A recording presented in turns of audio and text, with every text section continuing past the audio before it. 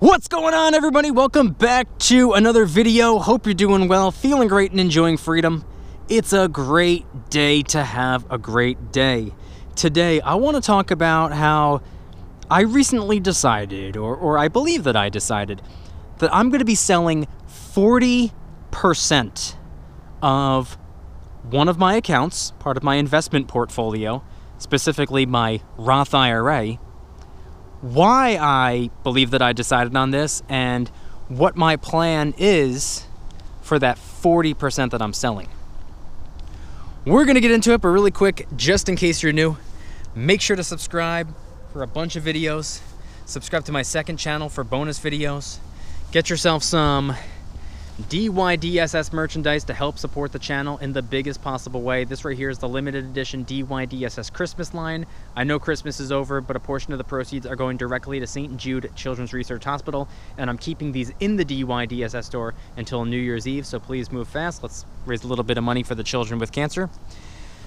Try out some G Fuel energy formula, $5 off your first order by clicking the link in the description. And of course, make sure to go and get your up to 12 free fractional shares by downloading Webull and funding your account. They're going to give you up to 12 free fractional shares just for doing so. And if you refer one friend, they're going to give you either 100 or $200 worth of free Apple stock. Just click the little invite button, send it to one person that you know. And you can actually repeat this promo 10 times. So you can get between $1,000 and $2,000 worth of free Apple stock if you refer 10 friends. Webull link in the description. Everything is linked in the description. All right, so today I wanted to talk about something. I have been thinking, to be honest, I've actually been thinking about this for of, probably about a year now, if I'm going to be honest with you. I think I'm going to be parting ways with 40% of my Roth IRA. Or should I say, 40% of my current holdings within my Roth IRA. And one of the reasons that I decided to do this is because, and, and I'm probably going to be doing this in January. I want to finish the year strong. I'm going to keep making my contributions every week as I've been doing uh, with the same positions that I'm currently holding. But in the new year, I think I'm going to make some enhancements.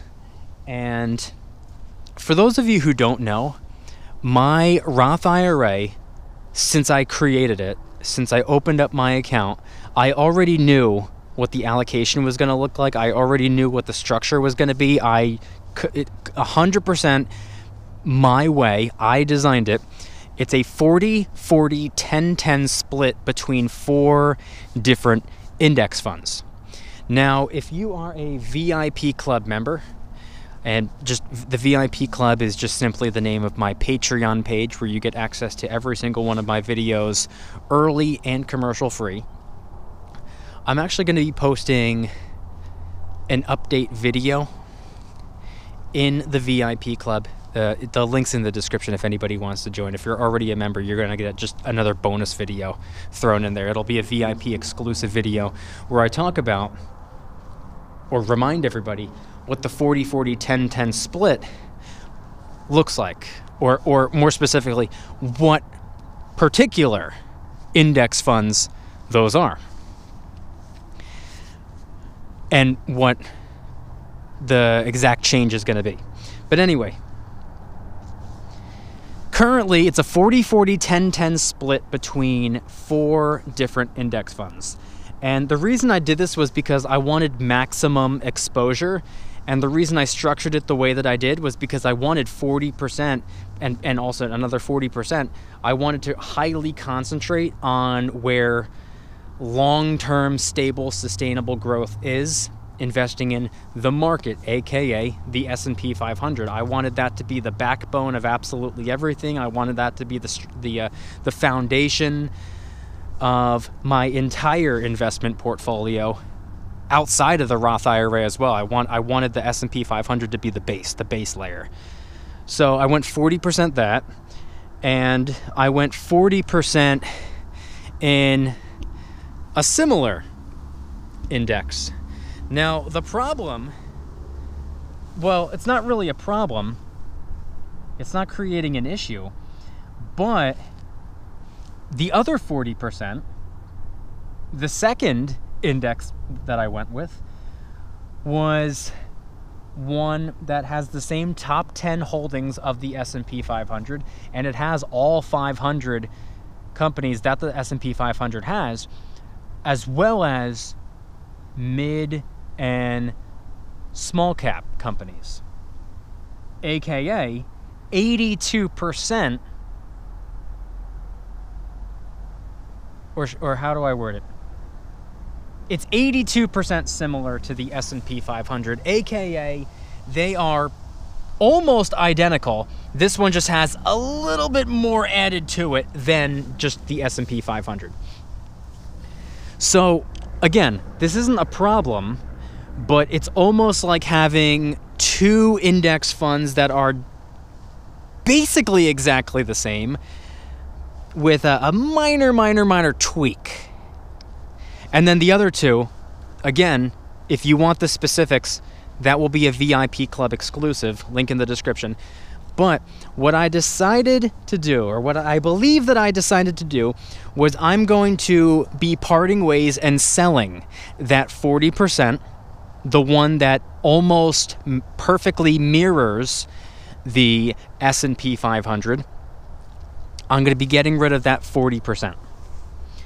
And what I'll be doing with the cash, keeping it in the Roth IRA, screw taxes, but I will be shifting and altering allocations.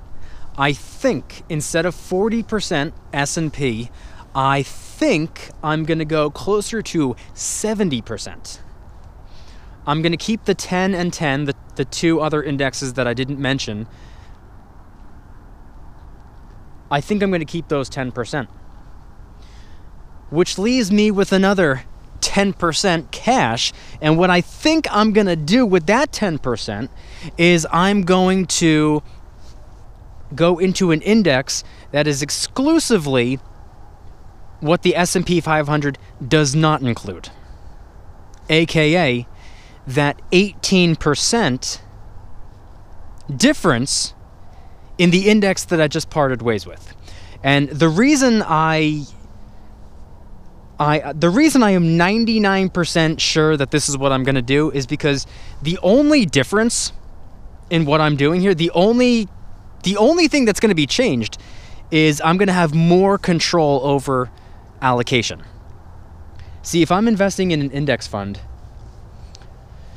that has large cap, mid cap, and small cap all wrapped up in one, I don't have control over how much of that index covers large cap. Maybe I want 90% to be in large cap and 10% to be in small and mid. Maybe I want to reverse it. Maybe I only want 10% or 20% or, or 15% or 32% or whatever percent focused on large cap and all of the rest to focus on small and mid. So the only adjustment that I'm making here is that it gives me a little bit more creative control over allocation. See, an index fund, and by the way, there is nothing, nothing, nothing wrong with going all in on just one broad market index fund. I just want to be able to tweak it over time. See, if I have a 40 40 10 10 split or if I have a 70 10 10 10 split, I can always rebalance the way that I want to and concentrate heavier or lighter on certain areas. Maybe in a couple years' time, I don't want it to be structured 70 10 10 10. Maybe I will want it to be I don't know 60 20 10 10 if that's what I want to do. And I'll be able to do that without selling an index fund and buying a different one instead. See, this will give me more control over how much of the Roth IRA can focus on the S&P, how much of the Roth IRA can focus on the small and mid caps, how much of the Roth IRA I can focus on the third index, which will you know, I'll leave that to, to the imagination or the VIP club, link in the description, and also how much the, the final 10%. If that makes sense. See, see, see here, here's an example I'll, I'll give. There's another index fund out there that I do not own. I've never owned it, and I don't believe I would ever own it, although it is pretty it is pretty intense. There is a total world index fund which means it holds every single publicly traded company on the planet inside of it. Maximum exposure, there is nothing that it neglects.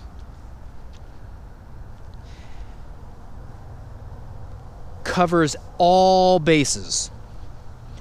But if you invest exclusively in that, and, and, and once again, this isn't a problem, this is not a bad thing but if you want control over how much your money is going into domestic stock versus international, going with one index fund that takes care of all of it automatically for you, you don't have control over how much is domestic, how much is international.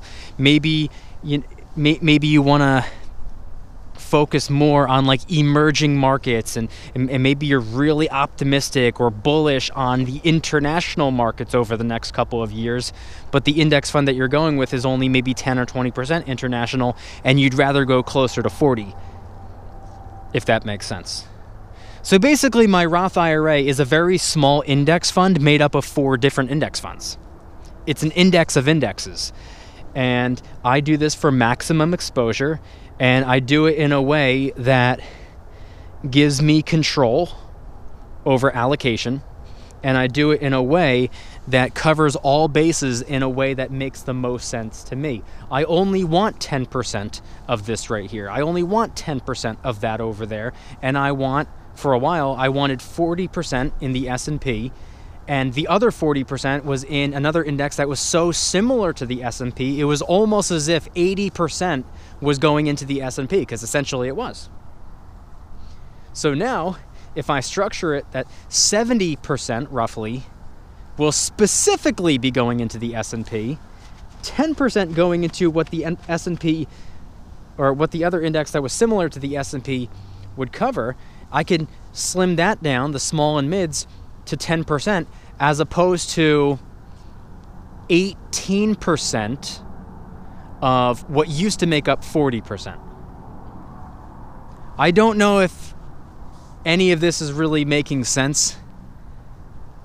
What I should do is get a marker board and do like a pie chart type of video or something like that. For for anybody out there that's a little bit more on the visual side of things, but that's really it.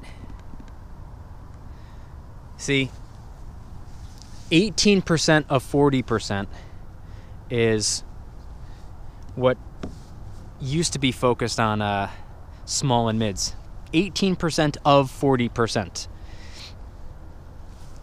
of the grand total 100% account. Doing it this way, I can very specifically make sure that it's 10%. Anyway, I'm really just thinking out loud over here.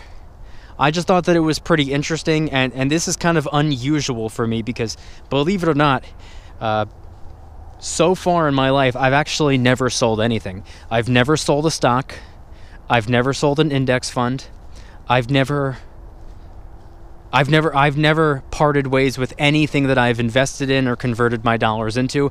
I have, you know, silver and gold coins and bars and stuff like that. I've never ever sold any of them. I've never sold any of my investments. So this is like weird for me. I it, there's a part of me that doesn't really want to do it just because I like I like the fact that uh I'm not selling anything. But